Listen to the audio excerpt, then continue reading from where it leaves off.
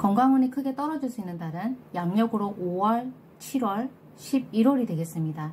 또한 주변에서의 관제구설에 시달릴 수 있는 달은 양력 3월과 7월에 해당이 됩니다. 현금 유동성에 문제가 생길 수 있는 달은 양력 9월, 12월, 그리고 그 다음에 2025년 1월에 해당이 됩니다. 양력 9월, 12월, 1월 이렇게 현금운이 떨어질 수 있으니 단단히 대비가 필요하겠습니다.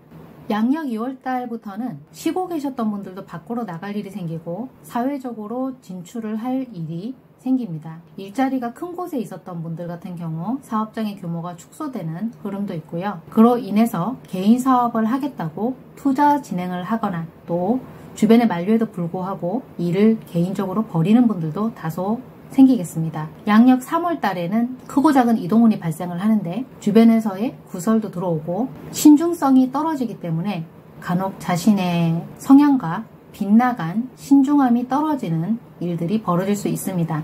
양력 4월 달에는 같은 문제가 여러 번 반복이 될 수가 있는데 그 같은 문제에 대해서 내가 여러 번 같은 해결책을 다각도로 시도를 하겠으나 역시 같은 제자리에 머무를 수 있는 달입니다.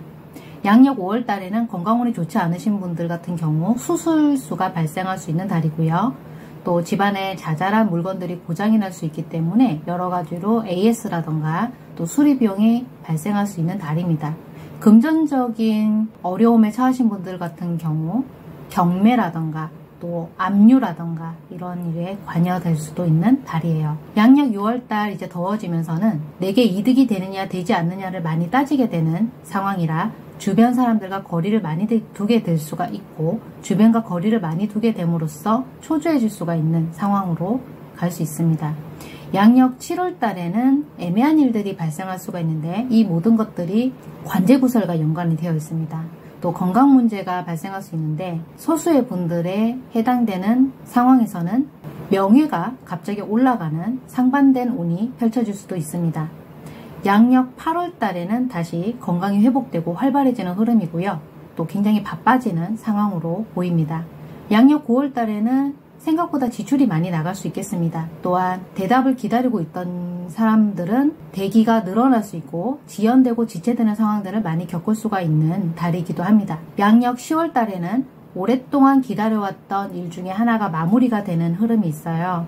빚을 갚게 되신다거나 또 오랫동안 시달렸던 일에서 해방이 되는 일이 기다리고 있습니다. 또한 다른 사람의 일들을 내가 이어받는 상황이 기다리고 있어요. 이제 추워지는 양력 11월 달에서는 건강운이 많이 떨어지신 분들은 건강을 챙겨 보셔야 되는 달이기도 하고 주변 사람들의 신상을 챙겨야 하는 달이기도 합니다. 멀리 가족이 떨어져 있는 경우에는 안부 인사 꼭 해보시고 방문을 계획을 해보시는 것이 좋을 듯 합니다.